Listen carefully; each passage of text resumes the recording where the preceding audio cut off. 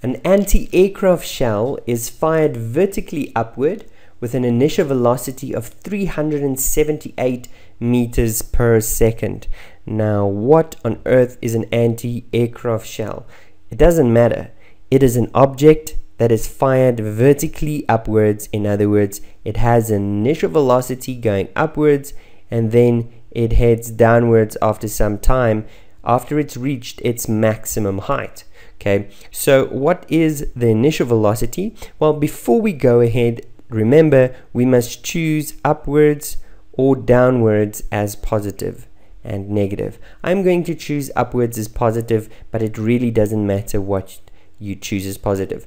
So here in the first part of the question, we can actually do that. Let upwards be positive.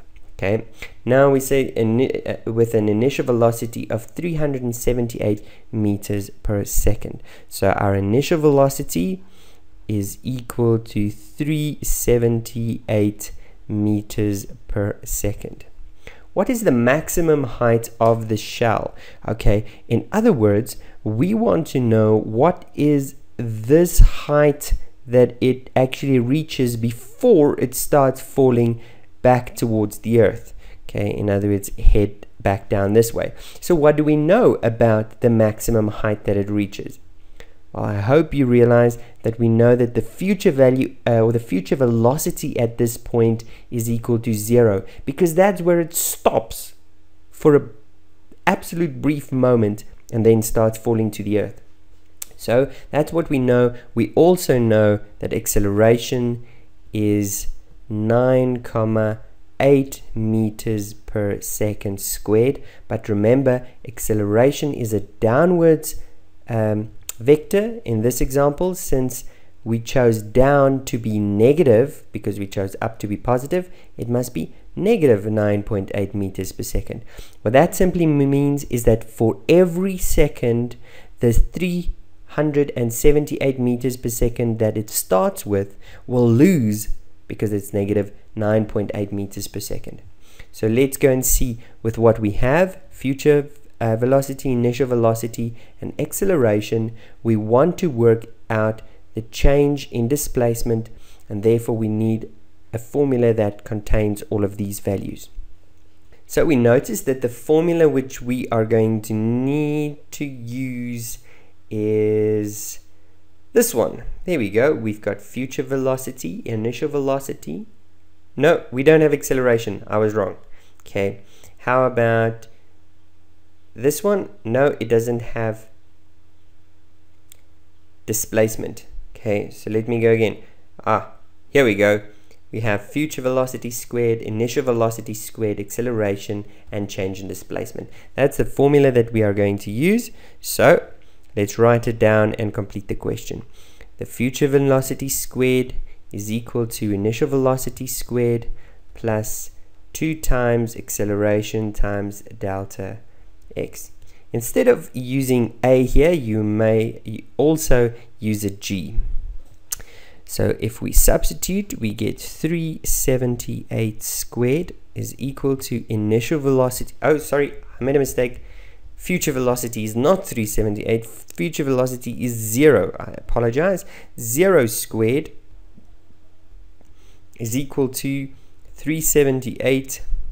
That's the initial velocity that's upward plus 2 times, this time acceleration is negative 9,8 meters per second squared and the change in displacement is what we want to calculate so we'll leave it as our unknown and now we need to do is solve this okay so what we notice here on the right hand side we have 0 then we have 378 squared okay so obviously 378 squared must go to the other side of the equation because we want to solve for x. Okay, so we are going to subtract 378 on both sides. So minus 378 squared on both sides minus 378 squared on both sides. That will cancel it on the right hand side and I'll be left on the um, left uh, right hand side with negative 2 times 9 comma 8 gives me negative 19 comma 6 change in x. And now to solve, divide both sides with negative 19.6, negative 19,6. And that's where we see, oh, at least we get rid of these negatives, which I'm sure you hate as much as I do. Okay, so if I have on the right hand side, I have left over change in x. On the left hand side, I'm going to solve that using the calculator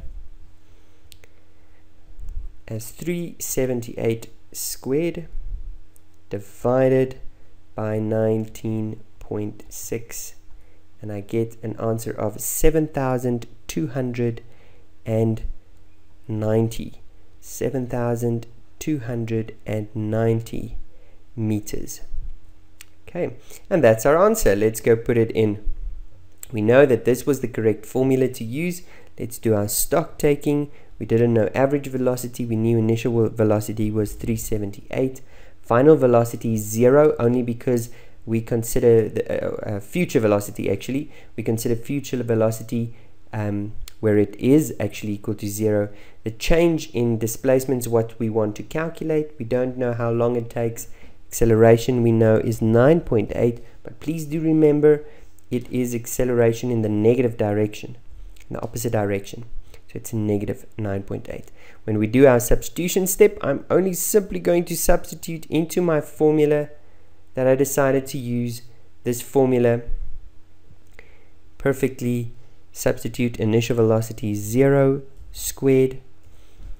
Sorry final velocity is 0 squared. Initial velocity is 378 squared plus 2 times negative 9.8 times delta x the question asks us to ignore the deltas, so we're not going to type delta, but we are going to preview to see whether it looks the way I want it to look. And that is exactly what I had here before I started solving. After I did the solving step, so if you were to do this um, at your own type, this step in between here you're going to have to do on paper so that in your final answer you only need to type in the answer as x is equal to 7290 meters. Don't forget your units and don't forget to preview just to make sure.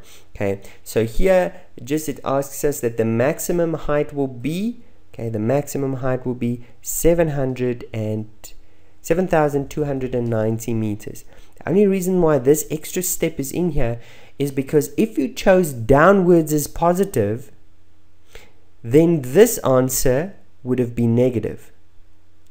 And the maximum height would be and then you had to change your answer to be a positive value. So if you do choose downwards as positive make sure to keep it as a positive answer when you get your negative value in your answer. Cool